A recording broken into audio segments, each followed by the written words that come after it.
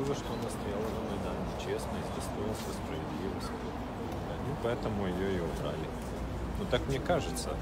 Потому что других причин я не знаю. У нее тоже не было никакого бизнеса. Она не криминальный какой-то авторитет, а обычный человек. Просто очень деятельный, для которых э, ее идеи, они...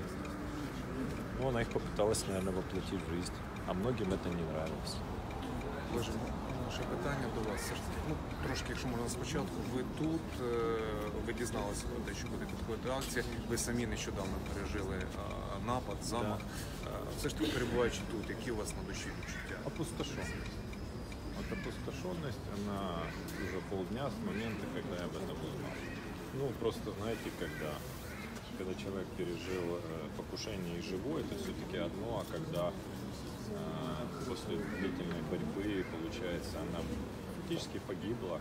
То есть те, кто на нее покушался, они добились, они фактически добились своего при полном бездействии правоохранительной системы. Все помнят, как задерживали вообще незнакомых и виновных людей, нашли якобы было. Порошенко сегодня разразился гневным постом, что ему очень жаль.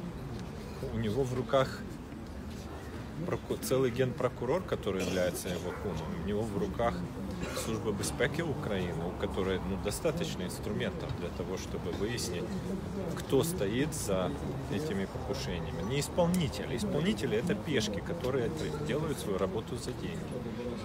Кто заказал Гандзюк, Сармата, Стерненко, Кузаконя, Козьму, Радченко, Устименко, меня. Кто хоть, где есть хоть определенный, найденный хоть один заказчик этих преступлений. И их всех знают, но их не могут пр- правоохранительные органы и государственная власть Украины не готова назвать эти фамилии. Ще один момент, якщо чесно, я очікував, що тут буде набагато більше людей. Ми вже руки опустили.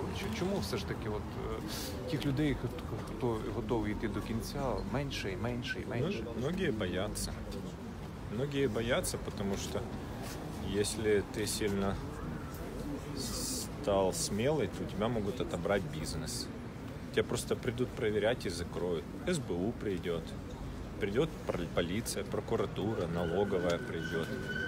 Если ты этого не боишься, тебе могут сжечь автомобиль, могут угрожать твоей супруге, а потом могут просто или облить кислотой, или нанять наемного киллера, который тебя убьет. Это с одной стороны. С другой стороны, ну, наверное, не так много знали, кто такая Катерина Гандзюк, и это в том числе действия, я так думаю, специально сделанные были, потому что если бы чем больше людей бы узнало, кто такая Гандзюк, за что она пострадала, то и здесь бы их было больше, и у значительно большего количества людей возникли бы вопросы бы, ну, как минимум, правоохранительным органам, как минимум, а как максимум и, и к президенту, и действующей государственной власти в Украине. Лише ви кажете, що мало хто знав, да, якби більше знали. На ваш погляд, чому так мало людей про це знають? Некоторые пытаются отгородиться от, от этого, думая, что их это никогда не достанется. А доста... такая беда может прийти к любому домой. Когда-то, когда Труханов стал мэром города, и говорили, что какой у нас мэр, все, я еще тогда говорил, что коснется каждого. И когда разогнали, просто избивали, выбрасывали товар обычных дедушек и бабушек, торговавших где-то в районе Малиновского рынка на площади Конституции, коснулось тех, кто за них голосовал. Поэтому некоторые, я сказал, боятся, другие не знают. Третьи думают, что придя сюда, ничего нельзя изменить. По-другому мне сложно сказать. Я знаю, что зависит от нас всех. Каждый может что-то сделать. И если не бояться, а как минимум говорить то, что происходит сейчас, то ситуация все равно должна измениться. И мне очень понравились слова, что она, как она там сказала, что я нахожусь в значительно лучшем состоянии, потому что меня лечат лучшие врачи. А справедливость в Украине тех людей, которые это сделали, их уже нельзя вылечить. Ну вот, к сожалению, ее не удалось вылечить. Я очень надеюсь, что все-таки это состояние правоохранительной системы, судов, государственной власти в Украине, что это еще можно хоть в какой-то степени вылечить, потому что в противном случае, ну это не государство. Это, это какой-то Сомали в центре Европы. Люди абсолютно бесправны. Искать защиты но сегодняшний день не у кого. Ну, просто вы идете в правоохранительные органы, вам говорят, это не наша компетенция, идите в суд. Вы идете в прокуратуру, они говорят, у нас забрали полномочия, идите в, право- идите в полицию идите в суд.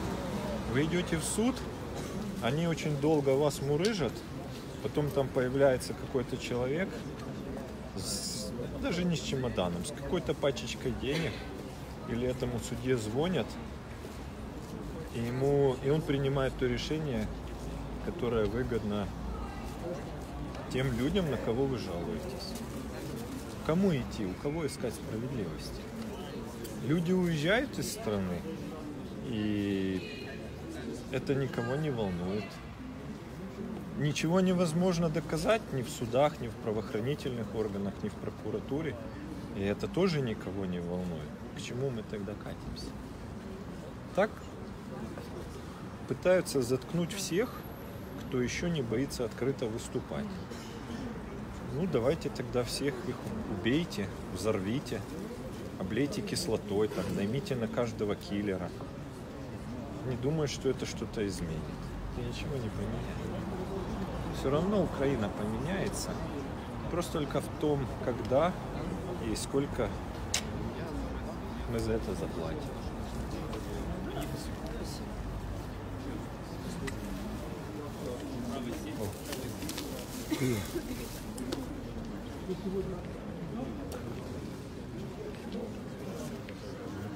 Як ти вважаєш, чому як, яка добре, твоя, твоя думка?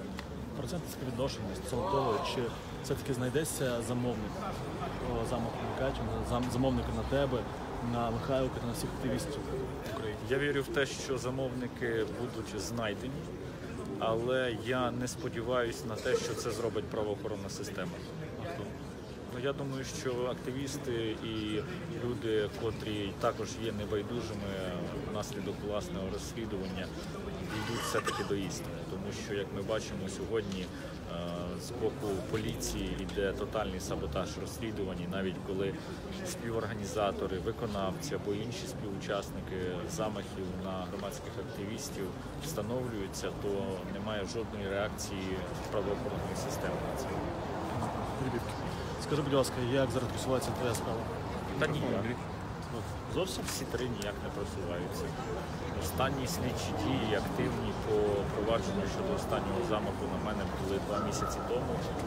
І ми заявляли клопотання про допит е, особи, яка на нашу думку була співорганізатором, та особ та, та на допит виконавця. І по сьогоднішній день ці люди не допитані в кримінальному провадженні по замаху на мене.